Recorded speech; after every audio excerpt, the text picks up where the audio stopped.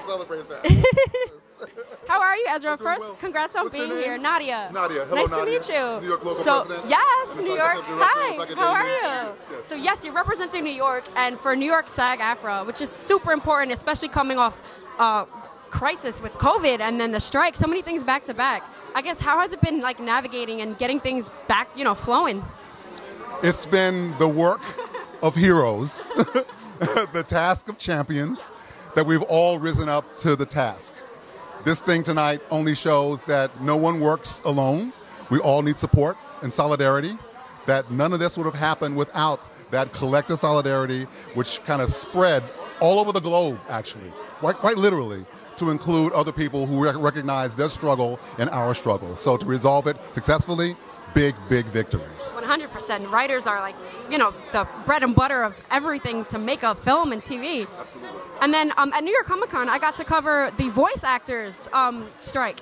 So I guess how is it working with video game writers and video game voice actors, voice actors, and just kind of all coming together to fight against this, you know, crisis? It's showing that our goal is human-centered approach to AI. It's made by humans, it's created by humans. It needs human awareness and sensitivity to be able to use it, not to abuse it for the sake of performers. So our video game performers are broadcast journalists, actor performers on television and film, background performers, stunts. Everybody is at a point of an inflection point of this time being affected by it. So right now, we're just trying to get past this strike this moment is kind of celebrating what we've done as a result of it. But as we move past, as work returns, because work is returning, it's settling back in to resume, but also uh, we got to clean up these last loose edges of agreements and contractual arrangements to speak to AI and everything else to make sure that we go forward really, really strongly. Even artists are in this fight together. I know a couple of artists um, that were with Marvel that are part of like the lawsuits, like trying to like fight to protect their work. It's just it's just so chaotic. Well, yes. That's absolutely. I, you know, I think the interesting thing is some of the stuff that Ezra and I, along with the WGA East and uh, the IATSE and the Teamsters, everybody is working on a lot of legislation together that we have put forward. Uh, for SAG AFTRA, it's so important to be able to protect people's image, voice, likeness.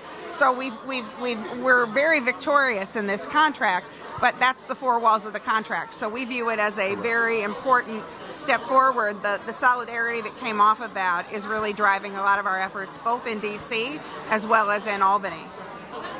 And this is our legislative labor Oh, yeah. shark.